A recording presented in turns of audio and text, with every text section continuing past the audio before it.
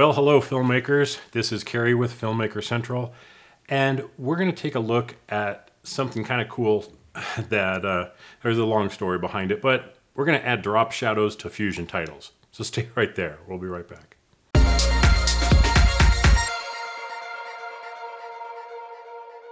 So, little story here. The new Fusion titles that are in Resolve 17 are pretty cool. And I use them all the time. I really like them. They did a really good job on creating some really nice, clean uh, titles. And because they're in Fusion, that gives you a lot of power and flexibility in what you can do with them. But some of them are just a little, I guess the bland. You know, they're they're good, they're solid, they're clean, but they could use a little something once in a while. And maybe that's something like a drop shadow which would be a really cool thing to do on some of them. So, guy that I know, Fred Stork, creates this plugin to put drop shadows on the plugins. Really cool. And I'm like, yeah, that's great. I really like what you did. I, will probably do a video on that because I, I, I thought it was so cool. And I'm getting ready to do the video, and he's like, whoa, whoa, wait. Did you know that you can just use the OpenFX effects on the existing titles. I'm like, you know, I didn't think about that. But because the titles are really just a fusion composition, you can do a lot to them.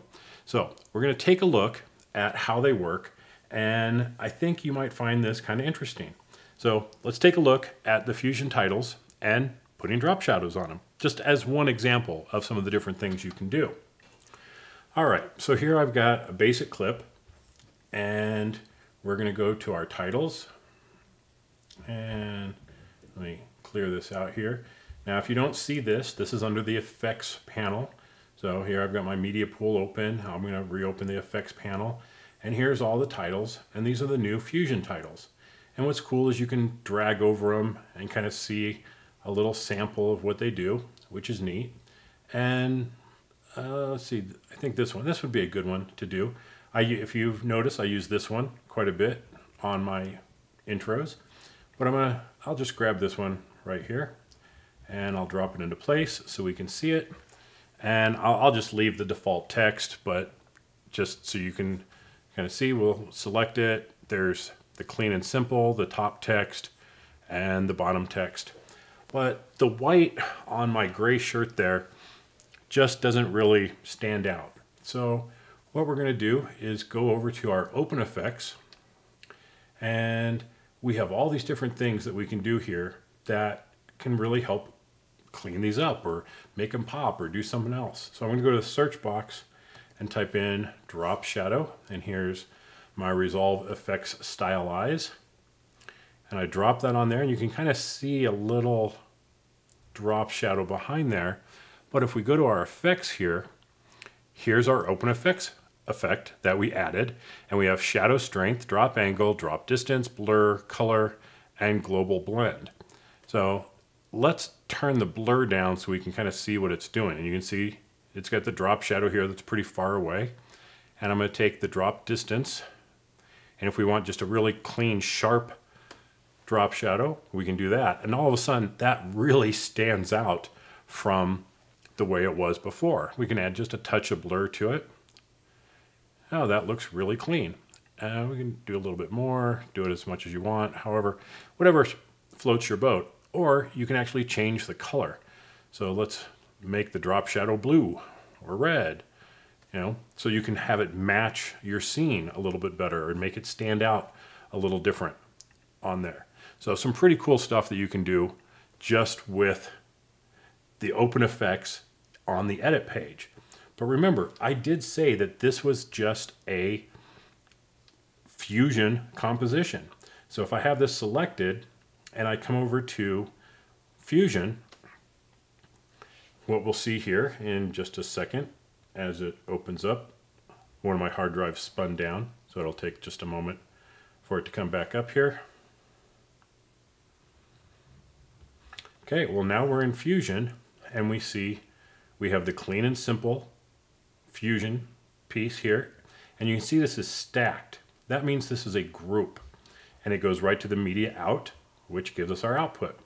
If I double click on this, we can see the nodes that make up this title. So there we have it. We have the big text, the small text, a rectangle that has a couple of uh, masks on it to cut the edges off, colors, transforming, all the different things that are that make this up. So I'm going to go ahead and close this. And now I'm going to hit shift space, which is going to bring up my tool selector. And I'm going to put in drop shadow, which is going to add it in line with all that.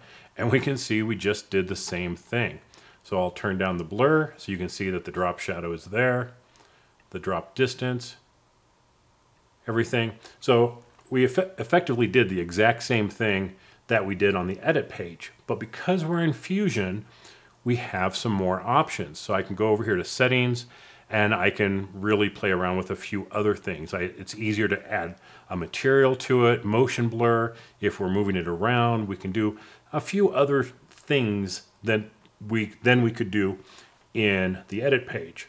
So this is just one simple example of something you can do to the titles because they're fusion compositions, giving you a lot of flexibility in modifying the titles to be what you want, having a default drop drop shadow on this, save this as another fusion title so that it's your own customized version of it. Even make it a macro so that you could change the color in the edit page. You have a lot of things that you can do with this level of functionality because they made these just standalone fusion compositions. So it's also good as learning tools. You can open these up and see how they did something and actually learn from it, which I think is super, super cool. So this isn't a long video, but I hope it was educational to see what these fusion titles were all about and what you could do with them to enhance them even further than the way they come out of the box. So thanks for watching everybody. This has been Kerry with Filmmaker Central. Really appreciate all the likes, the shares, the comments, the feedback, the suggestions for different videos. Keep it up. I really do appreciate each and every one of you. I try and respond to all the comments as quickly as I can. But again, thanks for watching, and I'll catch you next time. Bye-bye.